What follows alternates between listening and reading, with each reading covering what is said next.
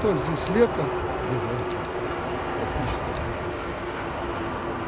Prezydent Białorusi Aleksander Łukaszenko odwiedził z wizytą obwód Mochylewski. W terenie Aleksander Łukaszenko zapoznał się także z modelami nowego i odrestaurowanego sprzętu produkcji krajowej oraz sprzętu do zbierania kamieni na polach powiatu kościukowiczskiego. Głowa państwa zauważył, że po jego poleceniu zbieranie kamieni nasi zbiegli dranie zaniepokoili się, że w tę pracę zaangażowani są ludzie, w tym uczniowie, studenci i wojsko, podczas gdy w innych krajach używa się do tego specjalnego sprzętu.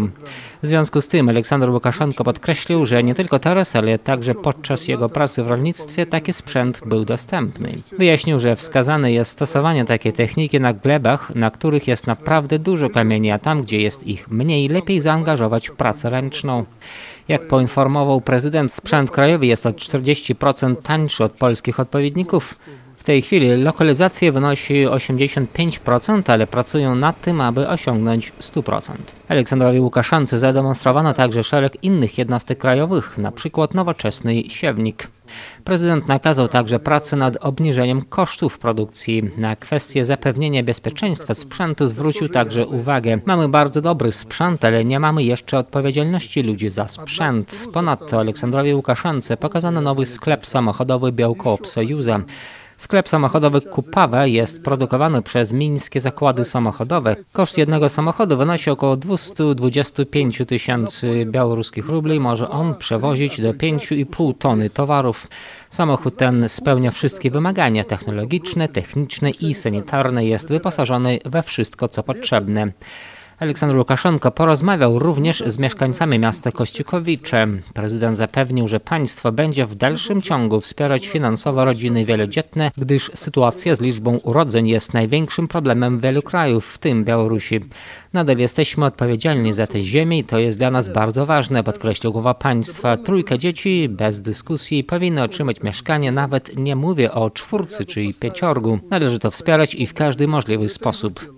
Jedno z pytań mieszkańców centrum rejonowego dotyczyło dalszych perspektyw rozwoju energetyki jądrowej na Białorusi. Prawdopodobnie nasze społeczeństwo przeżyło już syndrom postczarnobylski, stwierdził prezydent.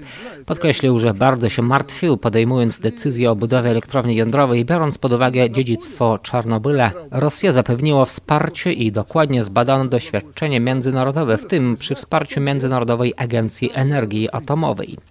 Mówiąc o katastrofie w Czarnobylu, Aleksander Łukaszenko stwierdził, że w życiu wszystko może się zdarzyć. Wtedy rolę odegrał także czynnik ludzki. Ale to nie znaczy, że musimy się zatrzymać, nic nie robić i czekać, aż szczęście spadnie z nieba.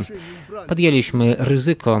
Ja zaryzykowałem i wy to zrobiliście. Dziś zdajemy sobie sprawę, że postąpiliśmy właściwie. To najczystszy rodzaj energii, podkreślił głowa państwa.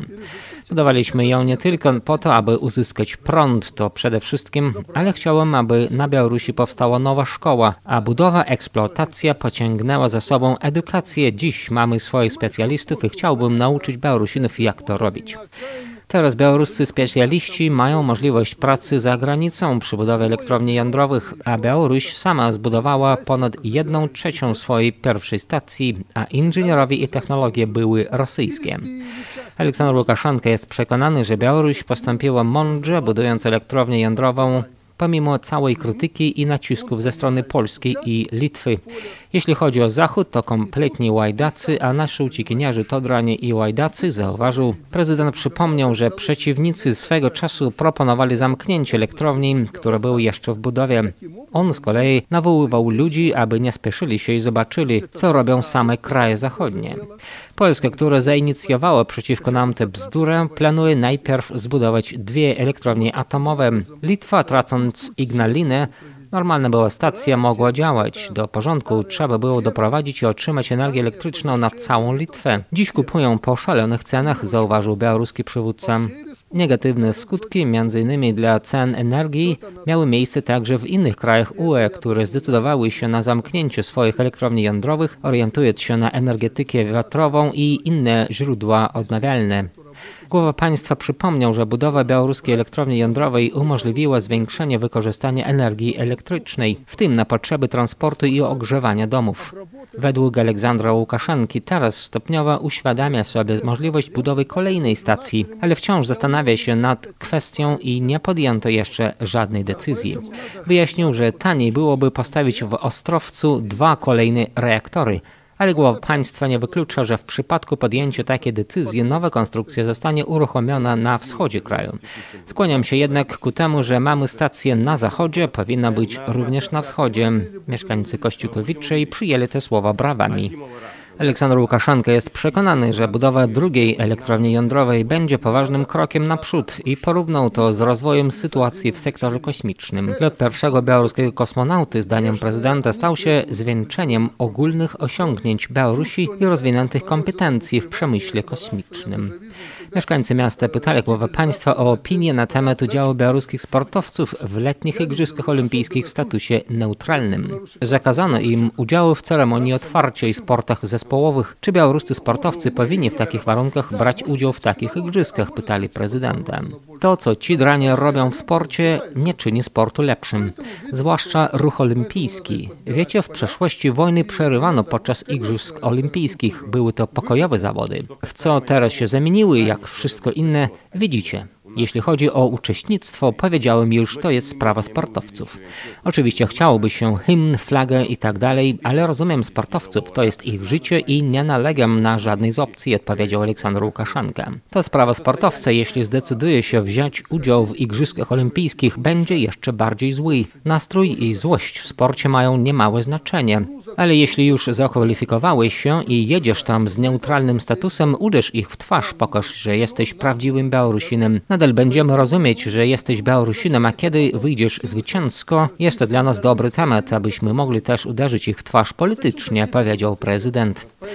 Głowa państwa podkreślił, Białorusini nie powinny się poddawać. Przypomniał, że w czasach sowieckich cały naród znajdował się pod ogromną presją, także w sporcie, ale Związek Radziecki był pierwszy. Im większa presja na nas wywierają, tym większy opór, dodał Aleksander Łukaszenka.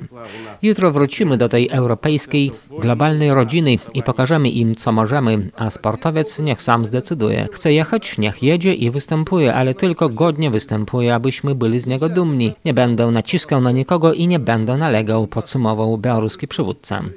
Mieszkańcy Kościukowiczej podarowali głowie państwa małą kopię tablicy pamiątkowej poetom i pisarzom powiatu kościukowieckiego, która została zainstalowana w pobliżu Centrum Kultury. Mamy nadzieję, że ten prezent przyniesie panu, każdemu Białorusinowi i naszemu krajowi same dobre i jasne rzeczy. Tymi słowami złożyli swój prezent prezydentowi.